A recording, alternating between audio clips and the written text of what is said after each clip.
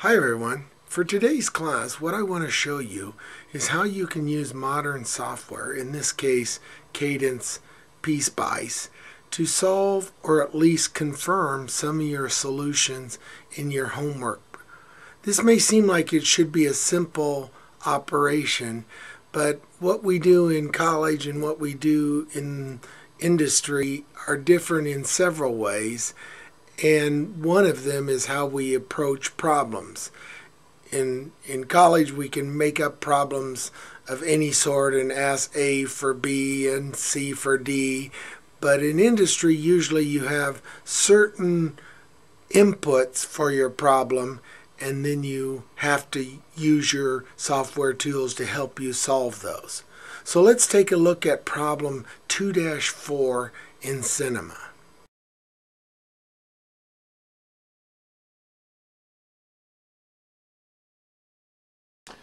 Okay, so here's the problem statement. 2-4. The following voltage waveform is seen on an oscilloscope connected to the input of a length of faulted RG8 A/U line. Determine the fault location from the sending end and the fault impedance. Ignore any losses. This waveform we see here, eh, we see a voltage going from 0.8 to 1 volts at 5 microseconds, is at the input to a piece of RG8 cable.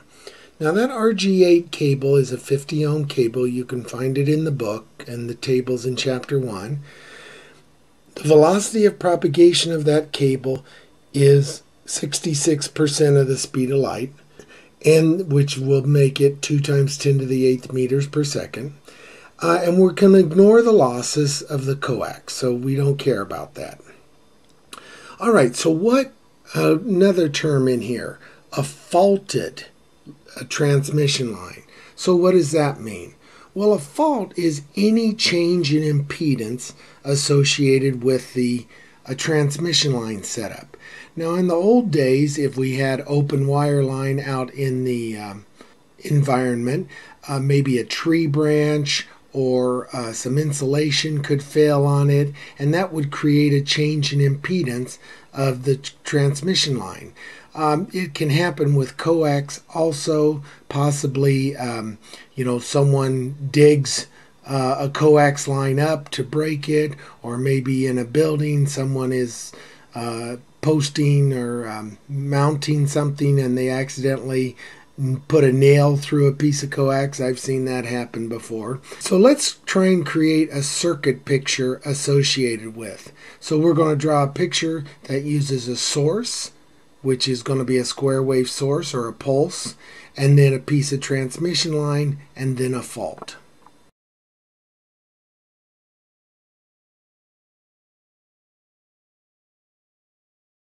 Okay, so here's the circuit I have created for that problem. On the left hand side we see a pulsar square wave generator with a 50 ohm impedance. That's typical for uh, sources. Now that wasn't specified in the problem, but by the waveform we know we see a rising edge at time zero. You could have uh, um, treated that as like a battery being switched on, but that's not the normal situation. Normally it'll be a pulse or square wave type generator.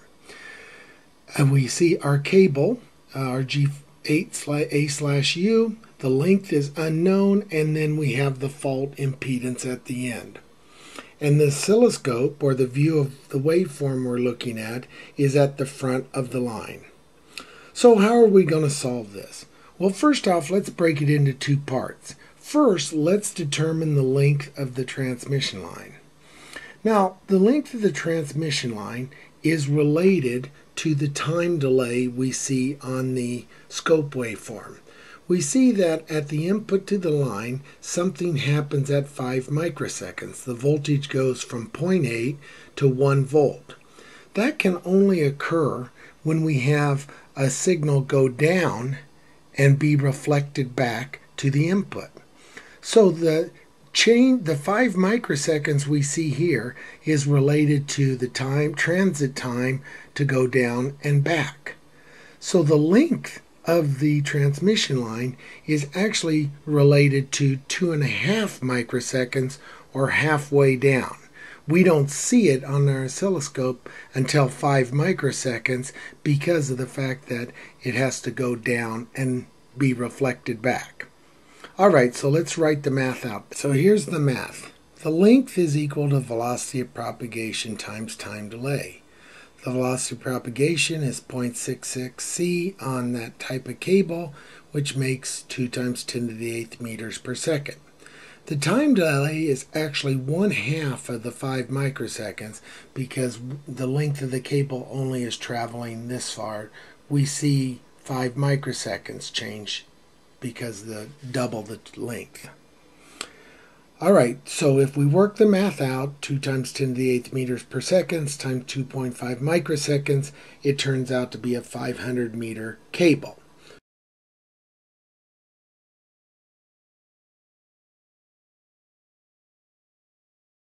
All right, does that sound reasonable? Well, we know in the lab we had a 7 meter cable, the 25 foot one, and had 38 nanoseconds. So we that's much this is a much longer cable on the order of maybe 80 times longer.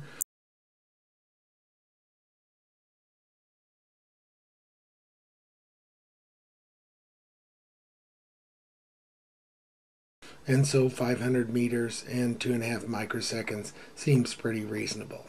We'll check that in the simulation. Okay, so the next part of the problem has to do with the waveform. Now we see at, at time zero the voltage jump from 0 volt to 0.8 volts. And then after 5 microseconds, it goes to 1 volt. Now we are at the beginning of the transmission line, so the only way we can see a voltage like this is that if the voltage travels down the line, is reflected back by the gamma of the load, and then we see the end result at point at the input to the line. So first off, we need to know what is the initial voltage uh, situation.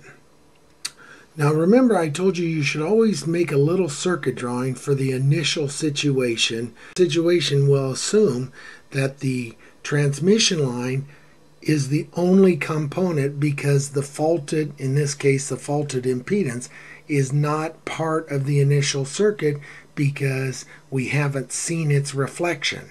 So we want to focus on this part of the circuit. Okay, so now we've got an initial circuit.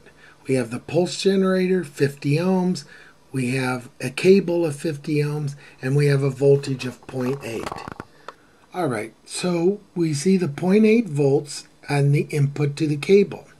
Well, because we are matched 50 ohm source, 50 ohm cable, obviously the voltage pulse back here would have to be 1.6 volts. So the step up of the pulse will be from 0 to 1.6 at the generator.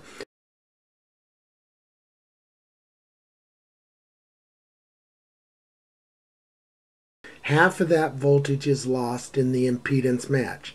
This is very common that you lose half of your voltage in the source to a cable connection. But we like, even though we don't like to lose voltage, it's important to keep everything matched. All right, now let's move on to the um, the wave traveling down the line. Okay, so we have 0.8 volts being sent down the line as the incident voltage. That's going to travel down the line in two and a half microseconds and reach the fault at the receiving end. So now we're ready to go back and finish our problem statement so we can do the simulation. Okay, so from the starting problem, we've added these details. 500 meters for the cable length, which was based upon the time delay, 83.3 based upon the reflection coefficient, and back here at the source, 1.6 volt pulse. And we calculated that by the 0.8 volts from the we see at the input to the scope, which is halfway in terms of an impedance because of the 50 ohm 50 ohm split of the cable and the uh, source. Now we're ready to do the simulation in PSpice.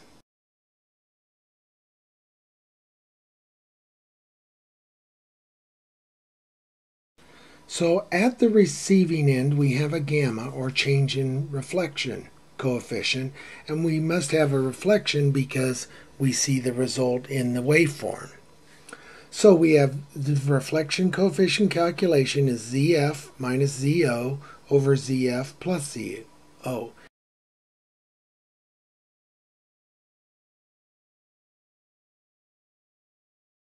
So gamma R is always the impedance you are moving into minus your transmission impedance divided by the sum. So that becomes the reflected impedance or voltage over the incident. Now we know the incident, because we're ignoring losses, will be 0.8. So now we have to figure out how do we get to the reflected voltage. So the second equation we're going to use is the total voltage. The total voltage is always the incident plus the reflected, at least at the reflection time.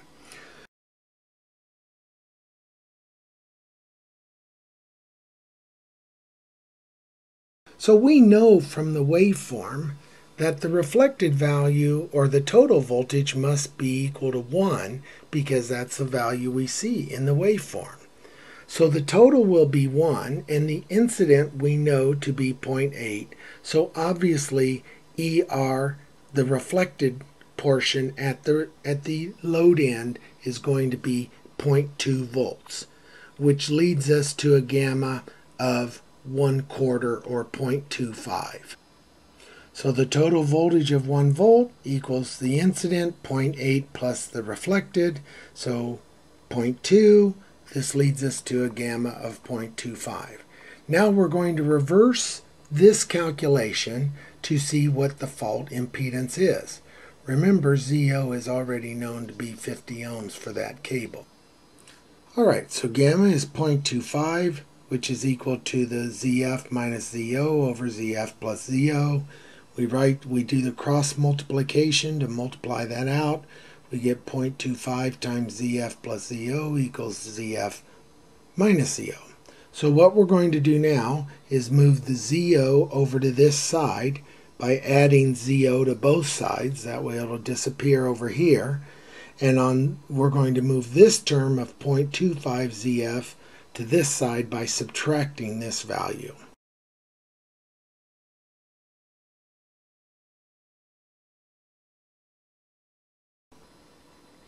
Okay, following the math, moving the two terms from each side, adding z sub o, subtracting 0.25 zf, we end up with zo plus 0.25 zo, zf minus 0.25 zf, right? So that's 1.25 zo equal to 0.75 zf. If we put a ratio of zf over zo, we have 1.25 over 0.75. That's a ratio of 5 over 3, and that's 1.66. ZF then is equal to 50 ohms, which was the ZO value times 1.66. So ZF is now 83.3 ohms.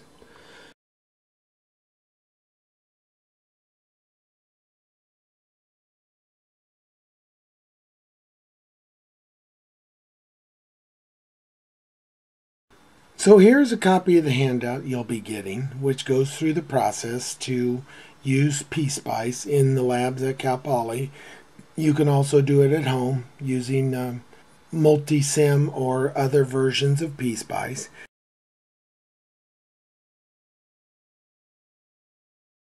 To create a file, a text file or circuit file to be used in the program called AMS Simulator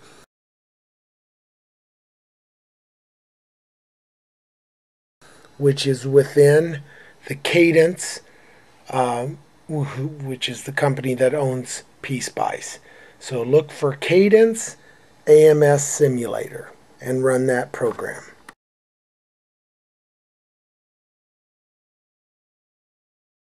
Okay, so here is the file that we are going to run in the AMS simulator or PSpice. It's just a few lines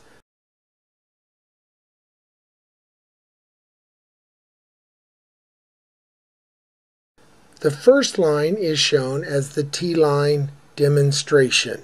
So that's just the title line, but you must have a title line. There must be something there. This star actually tells PSpice to ignore that line, but it will ignore the first line of any file.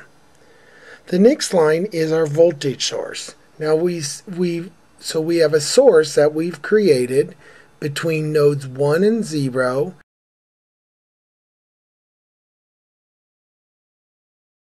and it's going to be a pulse signal.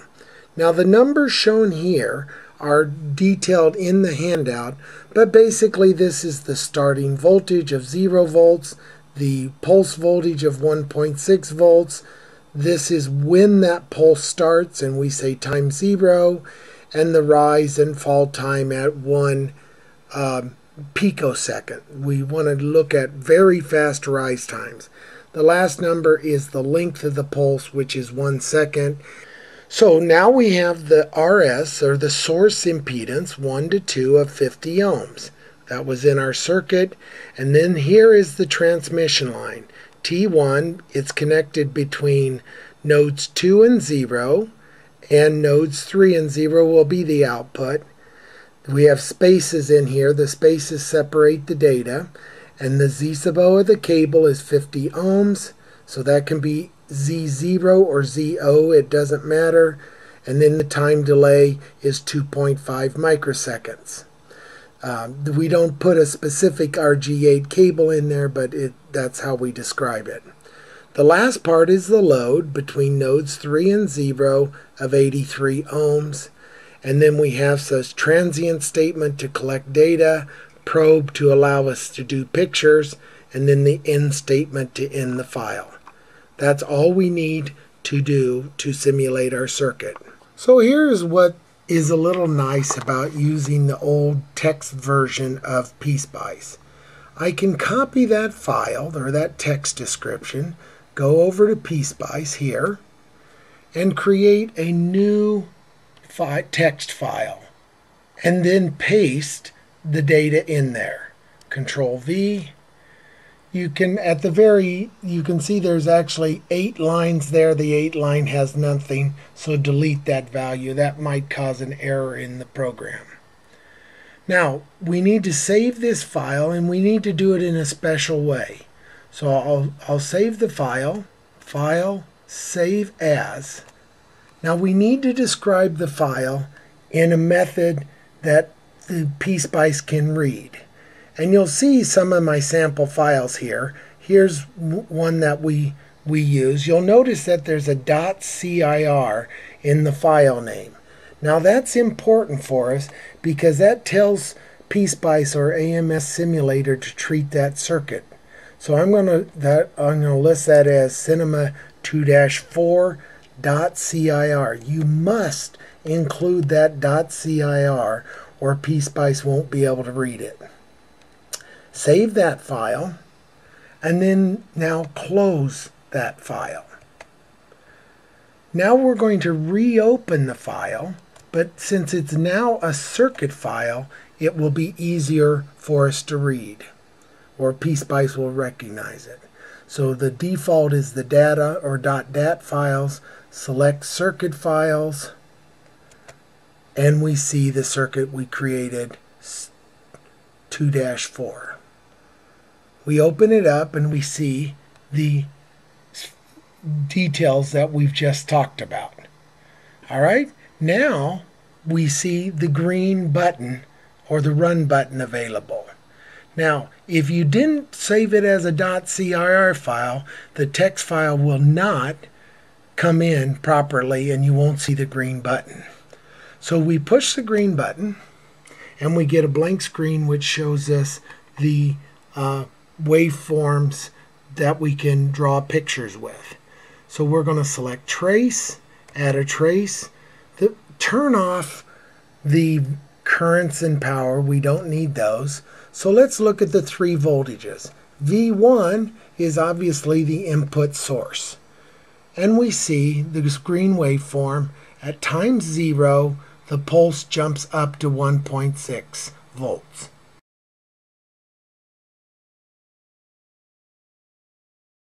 All right, now let's add the second trace, which is V2, that's the input to the transmission line.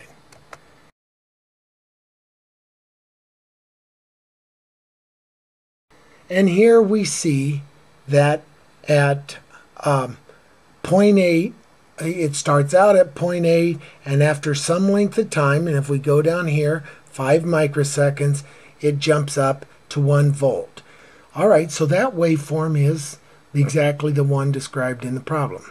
Let's look at the voltage at the end of the line, which is node 3. So node 3, add that,